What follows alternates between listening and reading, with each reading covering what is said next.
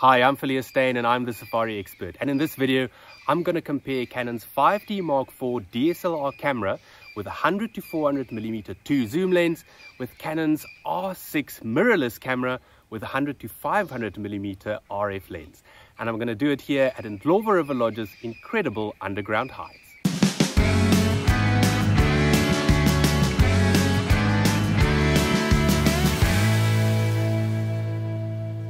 After a very early start, we arrived at Indlovu River Lodge ready for a morning of bird photography.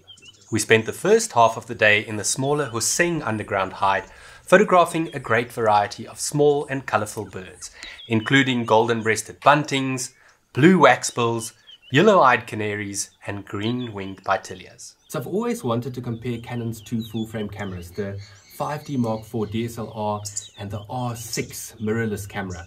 And I think this is the perfect place to do it at Indlovu River Lodge because it just gives us a chance to photograph the same birds and animals right throughout the day at a set distance. So it's very controlled conditions.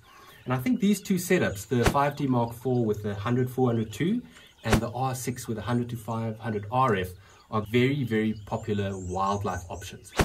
Now I'm not going to focus too much on the specifications today of the cameras. Um, this is certainly not an in-depth video on the R6. You can go and watch other YouTube videos to see that.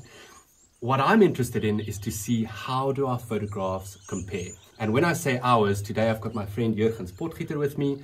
The mirrorless setup is his and I'm going to be using my trusty DSLR setup. Now Jurgens is an accomplished photographer so I feel confident that whatever photographs we are able to get today I can compare with each other. Obviously, these setups are going to have different pros and cons. The 5D Mark IV has got a larger sensor, so it's got about 10 megapixels more than the R6, which gives me a little bit more room to crop at the end.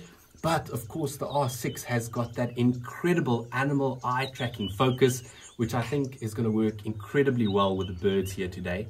Remember, when you're photographing over such a short distance, it's only six meters to the edge of the water those depth of fields are incredibly shallow. And that means with my setup, there's a big chance that I focus on a waxbill's beak instead of his eyes. So I'm very curious to see exactly what Jurgens is able to do when he uses the R6. He's also got that incredibly fast frame rate, up to 20 frames a second silently when he uses the electronic shutter. So very curious to see whether it's easier for him to take those takeoff shots than it's going to be for me. When it comes to the lenses specifically, he's got an extra 100 millimeters on that 100 to 500 RF lens. But remember, at the maximum, it's not quite as wide open. The minimum f value is f7.1 versus the 5.6 that I've got on the 100 to 400. So again, interesting to see how those photographs are going to compare. I hope you enjoy the video. Let's get cracking.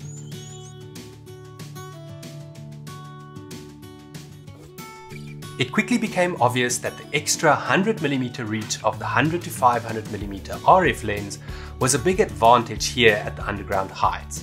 Just look how much more of the frame Jurgens was able to fill with his lens compared to my 100 to 400mm.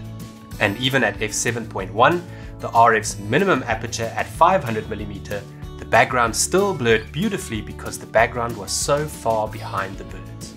Just remember that the 5D Mark IV sensor has 9 more megapixels than the R6, so I could effectively crop into the same size as the R6 photos and get very similar shots without losing detail.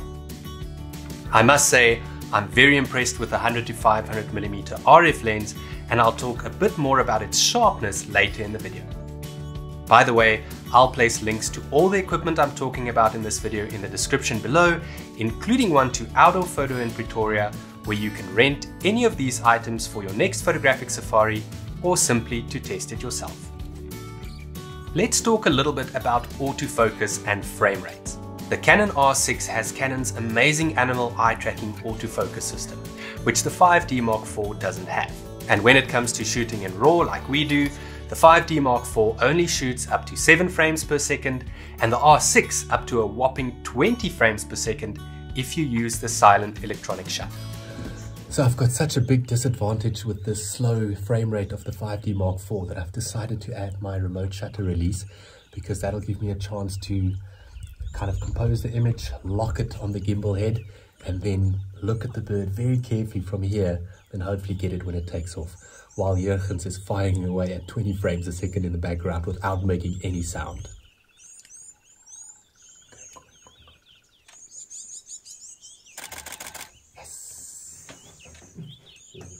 Let's just say the results were not ideal. Oh. That's the weirdest feeling. Jurgens gave me the R6 just to hold for a while, just so I could feel how it feels, and the Cape Turtle Dove came in.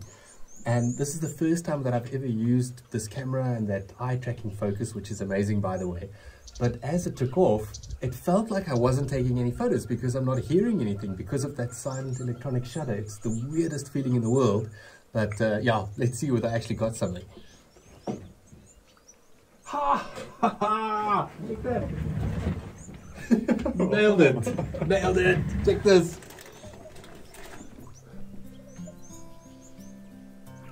Oh, this thing is amazing. Shooting at 20 frames per second at my fastest shutter speed of 1 over 8000, I was able to get that perfect takeoff shot that I so often miss with a much slower frame rate of the 5D Mark IV. And Jurgens was able to capture shots like these right throughout the morning, not only of birds taking off, but also of bathing birds jumping around. Just remember though, there's no guarantee that you'll get the money shots even if you're shooting at 20 frames a second. Oh. The problem is that even though you've got 20 frames a second, if your reflexes aren't fast enough to get them when they take off, you miss the shot. So I've switched over to the mechanical shutter now and you can hear it. It's much, much quieter than the mirror of a DSLR, um, but it's a little bit slower. It's 12 frames a second now. Still about double that I'm getting with the 5D Mark IV. See whether I can get something. Personally, I preferred shooting with the R6's mechanical shutter at 12 frames a second because I can actually hear when I'm taking the photos and it's still photographing at nearly double the frame rate of the 5D Mark IV. The danger of shooting at 20 frames a second with the silent electronic shutter of the R6 is taking way too many photos. To give you an idea, Jurgens took a total of 5,954 photos that day, while I only took 1,636. That's nearly four times as many as me. And even though the 5D Mark IV's RAW files are a bit larger at around 36 megabytes per image than the 28 odd of the R6 files, Jurgens used a mind-blowing 159 gigabyte of hard drive space where I used only 62. So not only do the high frame rates of the R6 force you to have bigger memory cards and more hard drive space, but you also have so many more images to work through afterwards, which experience has taught me is not easy. Let's chat a little bit more about autofocus.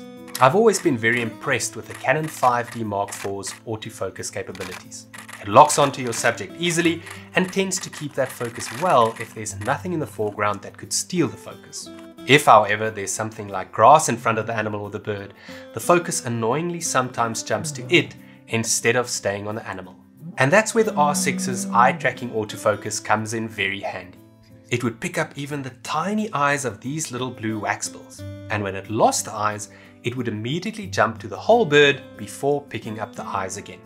One challenge when you're photographing multiple birds at such a close range with the aperture wide open is the fact that the depth of field is so shallow, often only a couple of centimeters wide, that only one of the bird's heads will be in focus. And thus, when you use the R6, you may have to use a single focus point and normal autofocus first to select a specific individual before switching over to the eye tracking autofocus.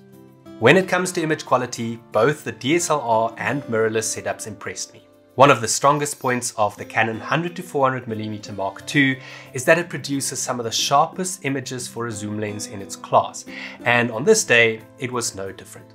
I was however very eager to see how the 100 to 500mm RF lens performed, and I'm happy to say I was very impressed with its sharpness, at least in these sunny conditions. Both of these lenses will struggle a little bit in low light because of the relatively large minimum f values when zoomed in all the way. On the camera side of things, I was eager to compare noise, or rather, the lack thereof. With my 5D Mark IV, I definitely start seeing noise at ISO 3200. It's not bad at all, especially when you look at the whole image, but as soon as you zoom in, it starts becoming a bit more obvious. On the R6, there's virtually no noise at ISO 3200. But I suppose that's what we would expect from Canon and a full frame camera that was released nearly four years after the 5D Mark IV. I talk more about the importance of ISO and many other camera settings in my best selling online course called Wildlife Photography for Beginners and Amateurs, and I've added a link to it in the description below if you'd like to check it out. After a quick midday break, we headed to the larger Tapama Hide for an afternoon session where we had the ultimate wildlife photography challenge, trying to photograph swallows drinking on the wing. Different species were zooming past us at lightning speed, dipping their beaks in the water for only a split second every time they came past. Not even the R6 and its amazing eye tracking autofocus system could lock onto the birds quick enough. So the only way to give ourselves an outside chance of getting anything half decent was to pre-focus on the water where we expected them to drink, switch over to manual focus, and then just hope for the best. However, I quickly realized that holding the camera still on that one spot and taking photos when they flew by hardly ever worked. The birds were either out of focus or out of frame, or more often than not, both.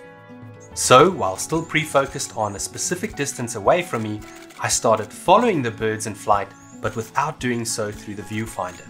Instead, I kept my eye right above the camera and followed them over the lens, feeling a bit like a fighter pilot gunning down the enemy.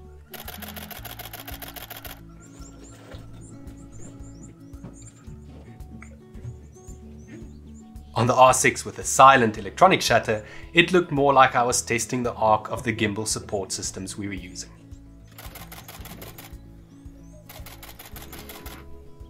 Oh yes, got it, got it, got it. Awesome man. After hundreds of attempts, I finally got the shot. I was able to freeze the swallow at exactly the moment it flew into my depth of field while maintaining a strong composition. I also managed to get one other shot that was perfectly in focus, and this one had the reflection in as well. Jurgens had slightly less luck than me with the swallows, but if you ask me, this was not because of the camera setup or his skills, but rather because of bad luck. He did however capture this amazing series of photos of a little bee eater taking a bath. So in conclusion, I love the Canon 100 to 500mm RF lens because of that extra 100mm reach and its sharpness that is as good as the trusty Canon 100 to 400 Mark II. Although it'll take some time for me to get used to the electronic viewfinder, I love the R6's eye tracking autofocus and there's no denying that shooting at 20 frames per second will give you a better chance to get more money shots when you're photographing action. I do however worry about all the memory card and hard drive space it needs for this and going through so many thousands of photos makes an already tough job even harder. Unfortunately, we weren't able to test the dynamic range of the two cameras at Indlovu River Lodge, but I was extremely impressed with the lack of noise of the R6 at ISO 3200. And thus, when I take everything into consideration, I would say that you can safely go for the Canon R6 mirrorless camera with a 100 to 500mm RF lens over the Canon 5D Mark IV DSLR with a 100 to 400mm Mark II lens if you're looking for a flexible, full-frame camera setup for wildlife. Thank you so much for watching all the way to the end. If you enjoyed this video and you'd like to support the channel, go and check out my Buy Me a Coffee page in the description below. Give this video a thumbs up, subscribe to the channel, and let me know in the comments below what photographic gear you'd like me to review next. Also take a moment to check out some of my other videos.